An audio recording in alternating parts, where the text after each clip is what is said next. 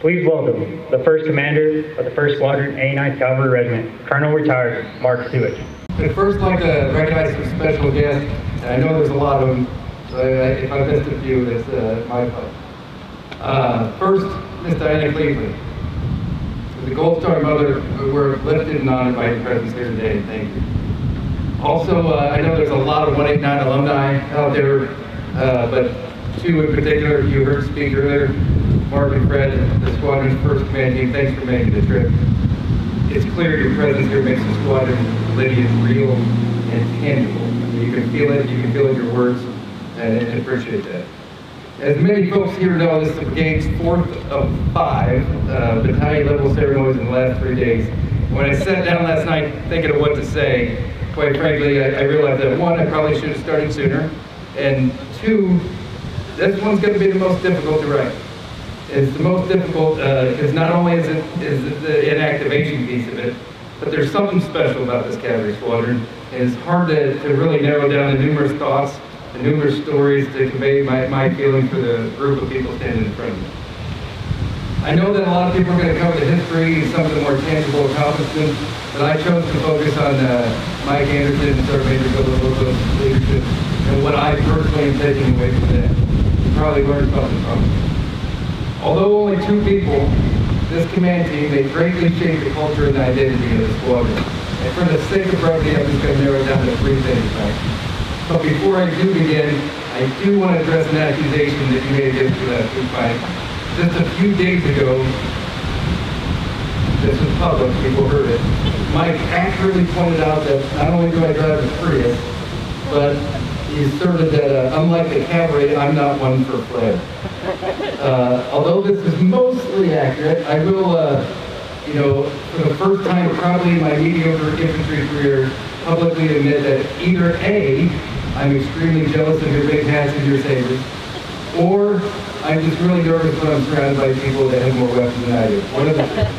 But I'll let you decide. But getting back to your attributes, Mike, without question, the number one is trustworthy.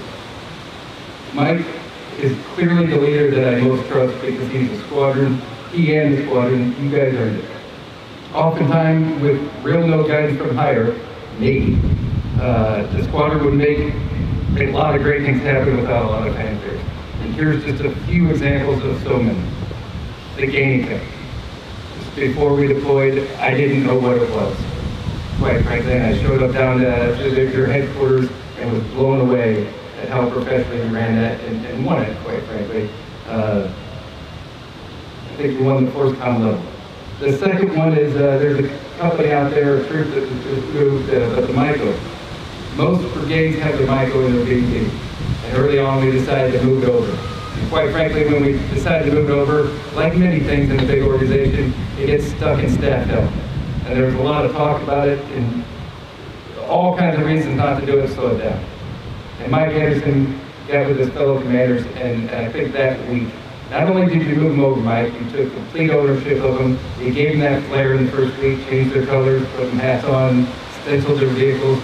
Uh, But more importantly, uh, you made them part of the team, and uh, you made them good, right? I mean, it's clear that on the deployment, their skills made the BCT better. Not only did they help eliminate some ISIS, uh, but they saved our soldiers' lives. I gave you very little guidance to do that, and I appreciate it. Probably the big one, the most obvious ones is the SAR struck and the deactivation. Not just this uh, ceremony, which is top notch, but uh, you know, the Army puts out a big blanket order. They didn't really account for our deployment and our timeline and the things that went us. And not surprisingly, it's incredibly complex. At 5:30 yesterday morning, I had to meet with Mike and all the troop commanders uh, to go over a, a few things. And when lots of stuff discussed, but the big thing that I left with Mike, it was clear that you had a solid plan that not only accounted for the complexity of the property, but more importantly, the personnel. And when I sit back, I talked about it the Expo right where we left, it was clear that every single troop commander, down to a, a detail that I hadn't seen in a while, really knew their people. And having been around a day or two, Mike, that doesn't happen without your focus, your questions, and your leadership over time. It was tangible and, and it's not common. And probably the biggest one, you've heard people talk about it, about the nine, nine-month deployment. So minus uh, the MICO and B Troop, uh, which had uh, some other tasks, they spent the majority of their time in Al-Tanf Garrison, also known as ATG. For those not familiar, ATG, according to Sergeant Major Donaldson, is the most difficult base to get to in Peter. Uh, it's it's kind of hard to describe. It's in Syria, but it's along the Jordanian border, and quite frankly, it's rough living. Probably for the last few millennia, it's been rough living out there. And that being said, it's, it's also our America's most strategic base. It- That's due to the geopolitical issues associated with locations, but it's also one that our senior leaders struggle with finding a feasible political solution. On the operational level, uh, Mike, the squadron had the brigade sole partner force, which, uh, which, as you know, you were with them, which is stuck at ATG and surrounded by the Syrian uh, Russian military. With the partner force, you had to manage, lead, train, counsel, control, mentor, and probably any other verb you can come up with, that partner force. And everyone in this BCT and our higher headquarters, everyone will vouch me on this when I say, uh, at every single level, tactical, operational, strategic, no unit has ever done that better. Mike Anderson's leadership, without question, adjusted the entire United States government's options in the area. He essentially rewrote the strategy playbook out there, all your own, quite frankly. In addition, the squadron had to protect themselves against dozens of drone strikes, which you heard about. But for these, I just want to say, in warfare, sometimes you get lucky. But however, I know that hard work on the right priorities increases your love. And without question, this squadron's diligence, their vision, their innovation, and their teamwork and their prioritization is why we were able to bring everybody home. And that's just a few examples of why I trust this command team to lead soldiers in the most difficult circumstances. And that's mainly because everything you touch, you make better. Mike, your second attribute that you retain is that you have high standards for yourself and for everybody else. Quite frankly, I'm not sure to make it underscore that. You're that good. Standards are non-negotiable. And although many people talk about these in the Army, it's different and it's real in this squadron. Through your leadership, the squadron has built a culture of conviction as opposed to a culture of emotion. You can see that when we visit, but it's clear when, when you visit anytime that even when people don't want to do things, they still do it. They are part of an organization that places more importance on the team than the individual. And you hold each other accountable and you thrive. But by holding these standards for everyone all the time, you built a real team, not just one that we mentioned in command philosophy. And I'll give you a few examples of that. If I can. When you build a real team, people don't want to leave it. I can think of several examples, but one of the ones that sticks out most in my mind is when I visited ATG. Took me to speak to some of vendor folks uh, that weren't even from Fort Drum. They were attached to out there. They were completing their nine-month uh, deployment, and once again, some very rough conditions. And quite frankly, they asked if they could stay. That doesn't happen. Right, These are air defenders, quite frankly, and they want to stay and be a part of the squadron well past uh, and sacrifice away from the family. Secondly, as the defendant, as as the squadron defended ATG, the only one in the history of my career that I have seen rehearse a black and gold plan full up. For those that are unfamiliar, this is a contingency plan that involves the entire unit essentially leaving their base and tactically spreading out. And I've never seen it, Mike, especially a full dress rehearsal. It's a more painful thing than I could possibly describe, that's why nobody does it, because it involves moving hundreds of vehicles, it involves uh, ensuring you have all the right stuff and all, every contingency you can think of, and, and so people shy away from it. But you did two of them, if I remember correctly, and you did them before we even got shot at. That's impressive. And one more, probably my favorite story, near the end. General Kurilla came to visit Mike, and I was out there near the end. Uh, if you've never met General Kurilla, he's a CENTCOM commander, extremely intelligent effective leader, but he's also a, a larger than life. Uh, and he can be intimidating for a lot of people. But we took uh, his group up on a, on a rooftop, and we showed him the base, and the huge group narrowed down, just a few of us up there. And he, was- Mike was explaining the defenses and what he'd done. And uh, he didn't question me, but he put you to the test, and he asked, uh, how long would it take this to happen? And Mike, without skipping a beat, three minutes. Now, anybody who's been in the Army today, day, like, your little word. I absolutely had zero doubt that Mike and his squadron had rehearsed this and he knew exactly how long it would take. And you hear the call on the radio, you hear a big speaker go, you see people moving. The four-star general had a watch going. And at three minutes exactly, they pulled right at that, uh, their fighting position. Like, don't doubt Mike Adams in this book. It is probably my favorite. Uh, and the last one, Mike, your third attribute is judgment. When people think of the, Army, we often associate it with rules and orders, which I'm not gonna say, saying is completely wrong. However, the longer I'm in, the more I understand that what we're looking for is someone who knows when to break the rules. Life typically involves several values or rules colliding with each other, and in the Army, it's often the leader's job to decide between them based on the principles and the context they're in. And without question, Mike, you excelled in both garrison and combat, and you earned my trust through your judgment. To start wrapping it up, I'm completely impressed by Mike and the squadron. The squadron has no bigger fan, and just don't tell my infantry friends I said that, please. Uh, and although I mentioned it before, I will always believe that when you have great people who have a purpose and are given the freedom to work towards that purpose, great things are going to happen. Clear that the Mike and Sergeant Major Phil Lobos, you proved this accurate. So thank you. To Karen, I also want to thank you for being Mike's better half. Clearly, he wouldn't be who he is today without you. And just as important, thank you for being the leader of the Wolverine spouses and families. I forgot, Wolverine. I forgot you guys do that, my fault. I, I'm supposed to pause up there, so it's kind of, I'm sorry. man. He told me that in fairness like two minutes ago. Uh, But hey, during the deployment, that's hard time, and your leadership, Karen, an example is what was needed. I can't thank you enough for helping Mike shou- shoulder the burden of command. To both you and Mike, I wish you the best when Mike uh, moves on to, to the PhD, quite frankly. And I hope he gets some downtime in your next job. Wolverine. Courage and honor, time to glory. Thanks.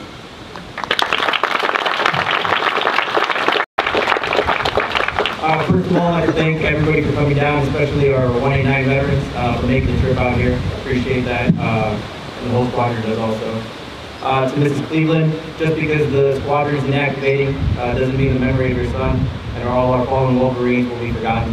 Uh, we have 500 new, or 500 Wolverines right now that are gonna carry their memories to different installations across our nation, so they'll never be forgotten.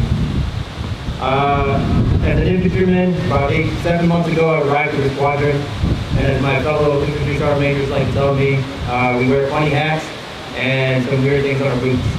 I, as an infantryman again, I, I embrace our culture and tradition as I wear a Stetson and spurs on my boots, so I think I've adopted, uh, the cavalry way of life. Uh, again, I arrived to the squadron while deployed, and I quickly saw how well trained they were. Uh, in October, you can say the enemy gave us a good punch to the face, and because of our training, uh, we regained our composure and got back into a fight. And uh, it was a defensive fight, but I feel that we won. We brought everybody home, and that's just because of the training that and preparedness the squadron had. Uh, to Colonel Anderson, I couldn't have picked a, I couldn't have been worked with a better Ranger buddy. Uh, I appreciate everything you've done for me and it allowed me to, to be the way I am with some of my humor, even though some people don't think it's funny. I do, my wife does. Uh, and very short, that's it. I appreciate everybody. Uh, Climb Glory, word and hour, ready now. Today is a solemn but proud day as we honor the history of the Wolverines and ceremonially inactivate 1st Squadron A9 Cavalry Regiment, transforming it into the 189 Cav Squadron Detachment. And I beg of you, sir, let me lead the charge when the battle lines have drawn. And let me hear the least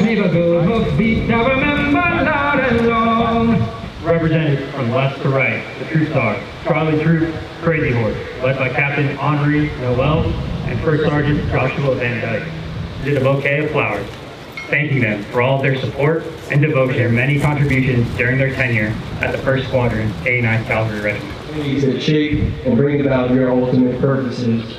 And so, Father, I thank you for the people, the fellowship,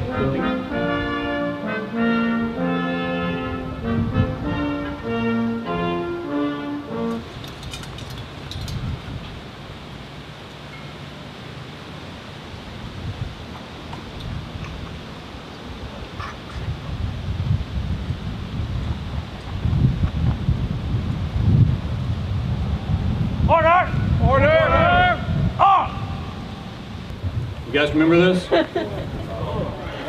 Remember that?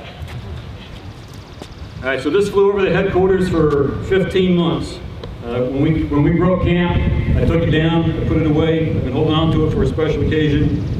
Uh, Colonel Anderson is not going to give you the colors. we are going to give you the flag.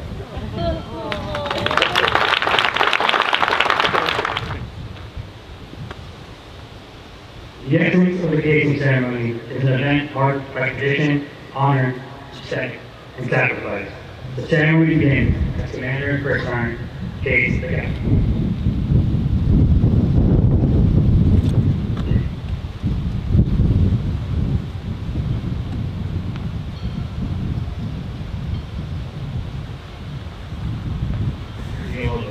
Who will post the guidon at the base of the monument, signifying the truth return to history.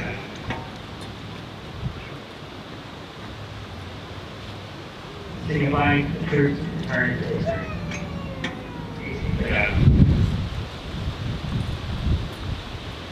The on at the base of the monument, signifying the truth, return to history. The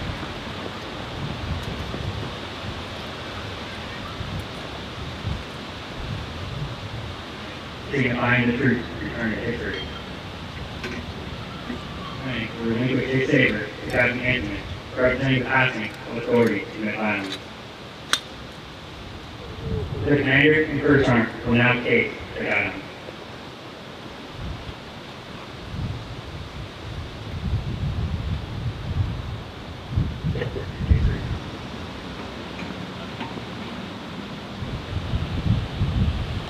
Lieutenant Colonel Anderson, Commanding Sergeant Major Neil Loba will case the squadron colors.